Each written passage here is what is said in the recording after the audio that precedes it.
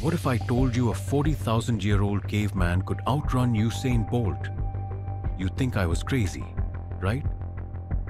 But scientists compared Stone Age humans to Olympic athletes, and the results shattered everything we thought we knew. Aboriginal hunters have been clocked running 100 meters in under 9 seconds, barefoot.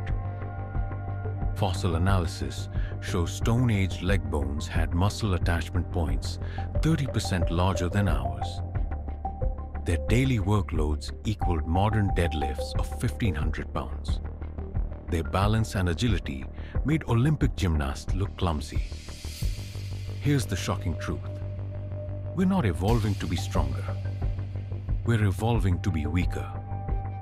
Modern Olympic athletes, the absolute peak of training and genetics, wouldn't even qualify for an average Stone Age hunting party.